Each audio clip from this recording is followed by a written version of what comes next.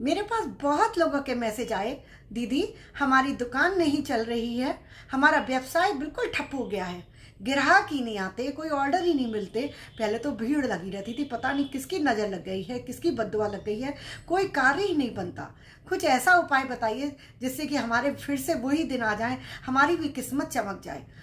बगल वाला पड़ोसी वो भी यही कार्य कर रहा है, उसकी दुकान पर भीड़ लगी रहती है। और मैं तो उससे अच्छी क्वालिटी का सामान बेच रहा हूँ, उससे सस्ता भी बेच रहा हूँ, लेकिन मेरे यहाँ कोई ग्राहक ही नहीं आता। सामने वाले के यहाँ भी भीड़ लगी रहती है, दीदी, पता नहीं हमारे ही क्या हो गया है? किसने टोका लगा दिया? कोई ने कार्य, हमारा बिज़नेस बाँध दिया है क्या? क्या हो गया है हमारे कार्य को? बहुत परेशान है आजकल सभी लोग अपने व्यवसाय को लेकर जॉब को लेकर, दुकान को लेकर फैक्ट्री को लेकर।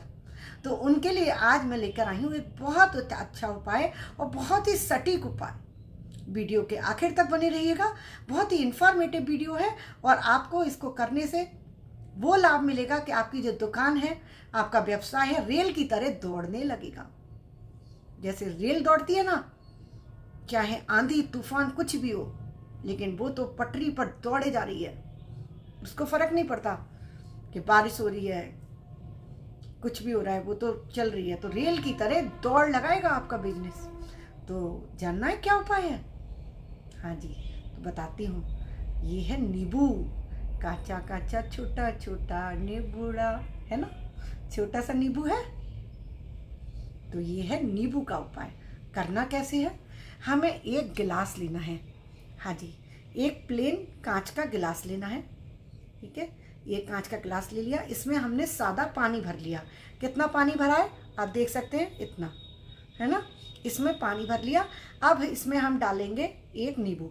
देखिए, इसमें नींबू डाल दिया और इसमें हम थोड़ा सा एक चम्मच डालेंगे सेंधा नमक। बस। अब देखिए, सेंधा नमक नीचे चला गया और नींबू ऊपर रखा हुआ है है ना, पानी के ऊपर ही तैरना चाहिए नींबू। आपको दिख रहा होगा? देखिए, नींबू ऊपर ही तैर रहा है। तो ये आप जब ऐसा बना लें, उसके बाद इसका क्या करना है? उसके बाद इसको आपका जो ऑफ़िस है ना, आपकी दुकान है तो उसका जो काउंटर होता है, आपका ऑफ़िस है तो उसका जो टेबल होती है आपकी, उस जगह पर आपको इसको रख देना है। आप कहेंगे, दीदी, ये तो सब लोग देखेंगे, क्या बोलेंगे? अरे, उनकी नज़र पड़ेगी भैया। जब इस पर गिलास पर नज़र पड़ेगी ना तो उनकी जो हाय बदुआ जो टोका लग रहा है, वो सारा ये पानी है ना, ये नींबू ले लेगा। तो इसको पहले एक उपाय और बता रही हूँ ना, पहले आगे का सुन तो लीजिए, जल्दी मत कीजिए। ऐसे नहीं, पहले सुनिए, इसको सात दिन तक अपनी टेबल पर ऐसे ही रखे देने रहने दीजिए, अपने काउंटर पर। आपकी दुकान है तो अपना जो काउंटर है, ऑफ़िस की जो टेबल है, जहाँ पर भी आप बैठते हैं, उस जगह पर इसको अपने सामने रख दीजिए। किस साइड में रखना है? राइट साइड में। अपना हाथ जिधर होता है ना राइट साइड का, उस साइड अपने सामने इसको रख दीजिए। अब हमें एक गिलास और तैयार करना है। इसमें भी हमने पानी लिया। पानी कितना है? इसमें भी इतना ही पानी है। अब इसमें हम डालेंगे तीन चम्मच नमक।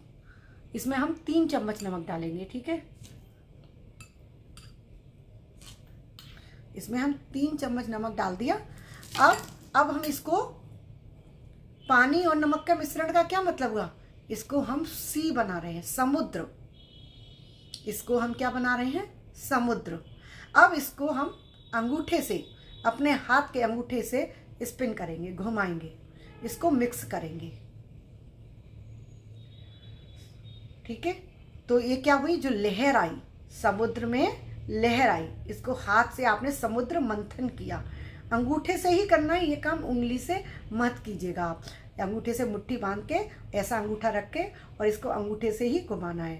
पहले नमक डाल लिया तीन चम्मच, सेंधा नमक लेना है। पानी सादा, सेंधा नमक तीन चम्मच और उसको अंगूठे से घुमाना है। तो अब ये आपका बन गया समुद्र। समुद्री पानी, यानी कि समुद्र बन गया। समुद्र में कौन होती है?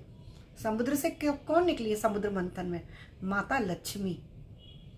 माता लक्ष्मी निकली है। तो इसलिए ये दोनों गिलास अब आप अपनी टेबल पर सामने रख लीजिए। ये हो गए ना? ये दोनों गिलास आप अपने काउंटर पर सामने रख लीजिए। अब सात दिन तक जब ये गिलास में रखा रहेगा नींबू, उसके बाद फिर इसको आपको फ्लश कर देना है। लेकिन आपको एक चीज़ नोटिस करनी है कि नींबू का कलर जो आपने इसमें डाला है, अभी निकाल के दिखा दे रही हूँ, आप करेंगे तो निकालेंगे नहीं। बस दूर से ही देखना है। टच नहीं करना इसको। ठीक है ना? तो सात दिन तक आपको इसको टच नहीं करना है, बट टेबल पर रख के छोड़ देना है। तो सात दिन में आपको क्या देखना है कि इस नींबू का रंग काला तो नहीं पड़ गया? नीचे पानी में नमक है। वो फंगिसाइड नहीं होने देगा, खराब नहीं होने देगा। लेकिन फिर भी अगर आपका नींबू का रंग काला पड़ रहा है, नींबू सड़ना शुरू हो गया, इसका मतलब है कि आपके घर में, आपके व्यवसाय पर बहुत बुरी तरह से नज़र लगी हुई है हाई लगी हुई है और कोई बहुत बड़ी परेशानी आने वाली है आपके जीवन में। तो आपको क्या करना है? तुरंत अपनी ग्रह शांति के लिए उपाय करवाना है। पंडित जी से कोई बड़े पंडित जी जो आपकी नज़र में हो, जो वैदिक धर्मशास्त्र के बारे में अच्छे से जानते हो, उनके पास अपनी कुंडली का विश्लेषण करवाइए, उनसे राय लेकर और अच्छे से फिर अपना घर में अनुष्ठान करवाइए, जैसे वो कहें। क्योंकि अगर आपके जीवन में छोटी मोटी परेशानियाँ होंगी, आपके जीवन में कोई बहुत बड़ी किसी ने कुछ रुकावट नहीं डाली होगी तो आपकी दुकान, व्यवसाय सब रेल की तरह दौड़ने लगेंगे। लेकिन किसी ने कोई आपके ऊपर बहुत तंत्र मंत्र किया हुआ है, बहुत जान पर बनाई है तो ये नींबू का कलर आपको बता देगा। नींबू का कलर आपसे कह देगा कि आपके ऊपर जान पर बनाई है, अब आपको सावधान होने की ज़रूरत है। डरने की ज़रूरत नहीं है। आप डरिएगा मत, काला हो गया तो। सावधान होने की ज़रूरत है। कहते हैं ना, जब हम डॉक्टर हमें टेस्ट करवाता है तो रिपोर्ट आती है तो वो हम डरने के लिए नहीं। तो ये वो टेस्ट है। अगर इसकी रिपोर्ट ब्लैक आ रही है तो इसका मतलब इससे डरना नहीं है, बल्कि डॉक्टर से जाके अपना ट्रीटमेंट करवाना है, जिससे कि हमारी जो परेशानी है, वो दूर हो जाएगी। उससे घबराने की ज़रूरत नहीं है। बस इसको लेकर अपने काउंटर पर दोनों गिलासों को बिल्कुल राइट साइड पर रख दीजिए और छोड़ दीजिए और सातवें दिन इन दोनों गिलासों को फ्लश कर दीजिए। बस, ये किसी बहते पानी में बहा दीजिए। नाली में भी बहा सकते हैं, क्योंकि ये तो नकारात्मक ऊर्जा लिए हुए पानी है तो इसको आप नाली में भी बहा सकते हैं। बाहर, लेकिन अपने घर की बाहर करिएगा, फिर नाली में बहाना है। फ्लश में कर रहे हैं तो घर में भी कर सकते हैं। तो इस प्रकार ये उपाय बहुत सटीक है। आपका व्यवसाय बहुत तेज चलने लगेगा और आपके जीवन में बहुत लाभ देगा। आपको मेरी वीडियो अच्छी लगी हो, समझ में आई हो तो मेरे चैनल पर बने रहिएगा और मेरे चैनल को लाइक और सब्सक्राइब करना तो बिल्कुल भी मत भूलिएगा। और अभी तक बेल आइकन नहीं दबाया हो, नित्य नोटिफिकेशन ना मिल रही हो हो सकता है ना कि मेरे नोटिफिकेशन आपको मिलते ही ना हो। अरे बाबा, मैं तो डेली वीडियो अपलोड करती हूँ आपके लिए। मैं तो आपके भले के लिए हर समय सोचती रहती हूँ कि मेरे जो फ्रेंड्स हैं, मेरे व्यूअर्स हैं, मेरी यूट्यूब फैमिली है फेसबुक फैमिली है, उनके जीवन में सारी परेशानियाँ दूर हो जाएँ। भगवान उनके जीवन में बस खुशियाँ ही खुशियाँ दें।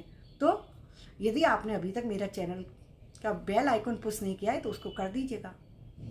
और प्रे तो मेरे लिए भी कीजिएगा कि मेरे जीवन में भी सब कुछ अच्छा चले। मैं आपके लिए प्रार्थना करती हूँ, आप मेरे लिए कीजिए। अभी के लिए विदा लेती हूँ। राधे राधे।